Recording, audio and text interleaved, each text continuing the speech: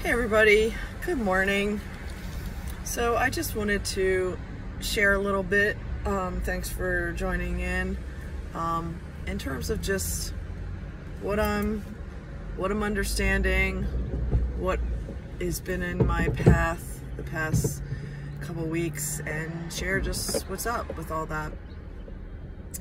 And, um, you know, sometimes when I do a really quick video, it's um, it's a quick blip or snapshot of trying to capture just the essence of what I'm dealing with. And no, nobody can really understand what you're going through or what you're dealing with when they're not putting the whole picture into context and they're not threading all those points together to really understand the, the huge impact that someone or something or some circumstance has on somebody's life. And I just want to, you know, share some of this so that you kind of comprehend, um, just get a deeper understanding of, of an example. So, just for the record, I don't have a vendetta against drug addicts or alcoholics or narcissists. I don't have this evil, you know, I'm out to get them kind of philosophy. That's not at all who I am. You know, actually, I'm the kind of person that's too busy to be worried about what somebody is doing or not doing. Um, that's the real truth in this scenario, um, which is the case. I was so busy living my life, living my life for God, doing things that were building other people up. Um, I was completely, you know, managing multiple projects and multiple people um, for the glory of God, for God's victory. That's what I was focused on. Um, but the but the, the challenge in this scenario of what I've personally gone through in my season of time here is that I had no idea the magnitude that my fiance was lying about, was manipulating about, was coercing about, was literally stealing about. The magnitude was so great. And I had no idea because he had found a way to manipulate the situation so that I continued to be so busy that I didn't notice what was really going on. Um, in my home, I had certain areas that were designated for storage like any other person in any other person's home. Okay, there were, you know, closets and linen closets and you know um called like areas designated for storage just put it simply. And a normal person who maintains a normal home is going to have everything in its place. And that's how I operated if I had cleaning supplies, they were located in the cleaning supplies spot within the cabinet. If I had paper towels and linens and napkins and washcloths, they were in a different designated cabinet or area. So the point is, if I needed to find something within 30 seconds, I could find it and it was organized, it was clean, it was efficient, it was orderly, and my home had structure. It had a place for everything and a purpose for everything. So I was operating out of a functional, organized environment. I was an efficient person that had command over the people, places, and things in my environment. And when people came into my environment, they clearly understood who I was, what was expected of them, how they were to behave in my environment, meaning following the Ten Commandments, being kind, no cursing, etc. Okay? And so I was clear about what my expectations were. And if somebody was going to violate that environment or those rules and agreements within that environment, they were asked to leave. It's as simple as that. Um, and so, what goes on in somebody else's home, what goes on in somebody else's environment is on them, and that's their agreements. But in my home, there were specific agreements. And so when you walked in, there was a very easily displayed uh, sign that had the Ten Commandments. And it clearly expressed like other little signage and stuff, you know, first seek first the kingdom of God and all his righteousness and all those things will be, you know, um, handed to you. So the whole point is there were many examples of scripture and, you know, living in God's way, in God's design that were displayed in my environment that I was living in that reality for myself and my life. And what what my fiance Eric did was that he figured out who I was. He pretended himself to be in alignment with who I was. And he maliciously, mischievously, you know, pretended to be someone that he was not. And he did this with a grand purpose to steal, kill, and destroy from you know, me and my family and my environment and to get whatever he could. But I did not understand the magnitude or the great impact of what he was trying to do because I was so focused on actually living, not doing the things that he was doing. I was focused on living and building other people up and encouraging people and helping people and being a servant to people. That is what I was focused on. So when Eric died, okay, there was a great period of mourning, of grief, of shock, of disappointment. I was engaged to somebody that had presented themselves to be a particular way. In reality, they were not who they presented themselves to be. And when they had, when he had a mishap and when he, quote, relapsed, and when he went through the motions of acting as if he was, quote, back in recovery, he was presenting himself to be in a place that he was really not, okay? And in the past three years since his death, yes, we're coming up on three years, there is a trail of wreckage. And when I mean trail, I mean humongous trail of wreckage. And it's all the unfinished things that he said that he completed that he didn't. It's all the lies. It's the financial ruin and stealing. It's the, you know, taking of assets and selling them and not having things that you planned for for the future because they're all gone and missing.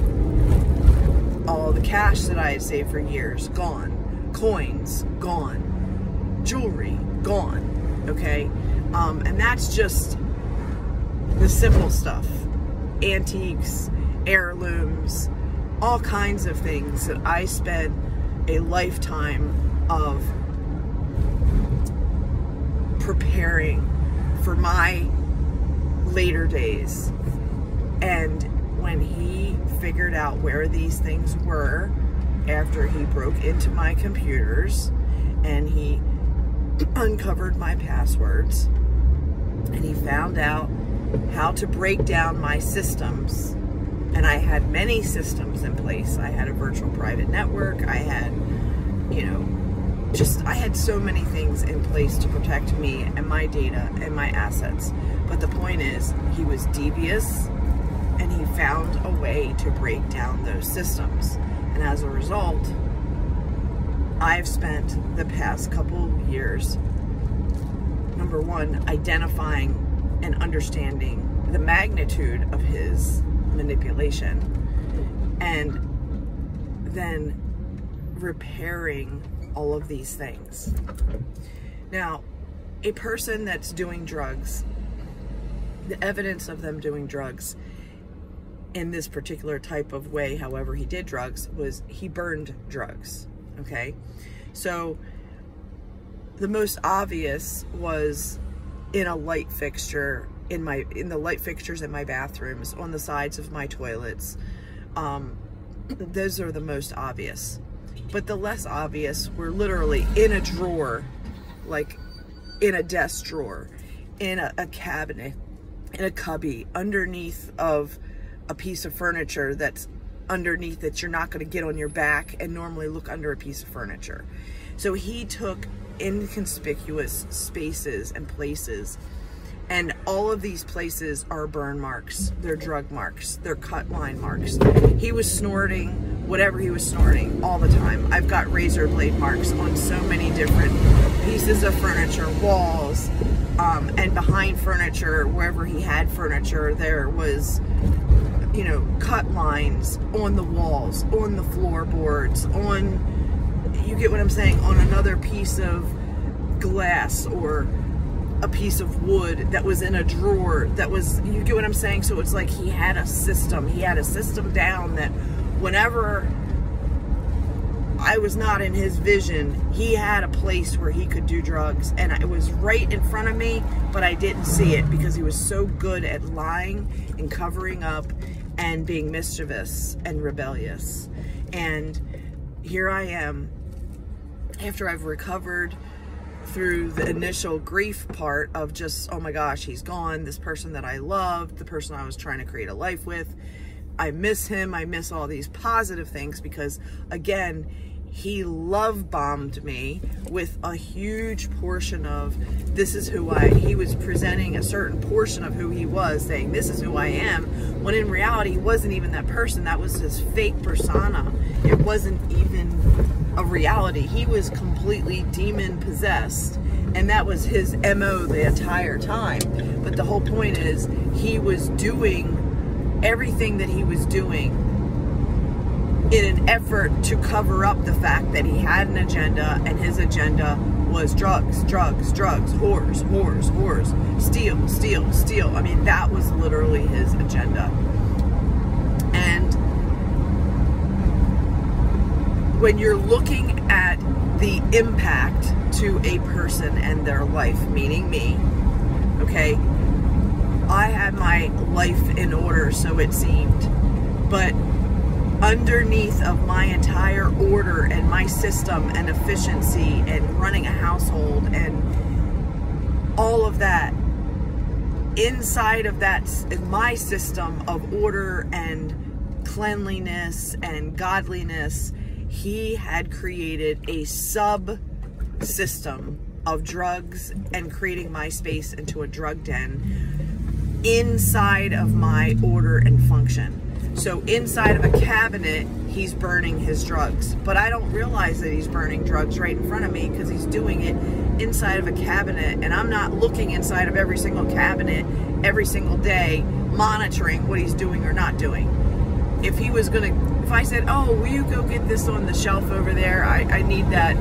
Um, and so he would get up and stand on a ladder or whatever to do a project for me. And meanwhile, while he's doing that, I might be doing something else, or I might have run to the store, or whatever. But then now I'm cleaning for Passover, and as I'm cleaning, I'm finding all of these burn marks in the corners of the walls of the ceiling of my room, in the tops of the cabinets, inside of the cabinets, inside of a cubby, inside of a desk drawer, all of these areas where he had stashed razor blades and lighters and drugs. And do you get what I'm saying? So literally every single space that he could put a drug, he put a drug. And I had no idea that any of this was going on because I'm not a drug addict. I don't think like a drug addict. I don't use the kind of drugs that he was using. Therefore, why would I think about putting a razor blade in between, you know, underneath of a desk wall or something? It's just not part of my reality. I wouldn't think that. So therefore, I'm not thinking that something would be there or that I'd even need to look to that level to constantly be behind somebody to clean them from whatever nonsense they're doing. So all I'm getting at is that it's one thing if you're like, oh wow, in this drawer I found, you know, some drugs, okay? Or drug paraphernalia. That that's bad enough, okay? What I'm talking about is over this three years, not all in one clip, in, in multiple, many days and many times of finding some type of evidence of his drug use, it has presented and painted a very different picture of who he was and who he claimed that he was, when in reality, he was not a man for God or of God. Because a person that is a person for God is not in the thralls of addiction. Because when you surrender your whatever it is that your sin that you're in, when you truly surrender to the Lord, the Lord changes you. Whether it's in an instant, or it's over several months, or it's over a couple of years, there is a huge, this is who I was before, and this is who I am now. And I'm no longer operating in the old man, I'm operating in the new man. I'm not doing all these crazy antics that I used to do. I am living in a completely different lifeline and truth and the way of what God, the Lord God, intended for me to live and for you to live. And so, what I'm getting at is that I thought that he was living a life of recovery and living being a clean and sober person. And in reality he was never clean and sober. He was presenting himself to be one way but in reality he was still hiding malicious rebellious behavior behind the scenes hidden okay and now that all these things that I've discovered that were once hidden, that are now full-blown evidence of what who he really was and what he really was about, the point is you add it all up, okay? And when you make a list and you add it all up, it is absolute insanity what a drug addict in active addiction is capable of what a narcissist, a person who is completely demonically possessed, will do in order to manipulate people, places, and things. And when you realize that that is really what's going on, whoa, okay? To recover from that takes an extreme amount of diligence consistency and repetition of constantly going through the same process of clearing out and finding more things. And I've had to do this with storage lockers and pieces of furniture, etc., etc., etc. And it has taken me all of this time to thoroughly go through everything in my life to discover and uncover and take out all of the evidence of damage, okay? And then the past couple weeks, I've really been focused on the repair of that damage, that accumulated damage. And here's a list of what was just done.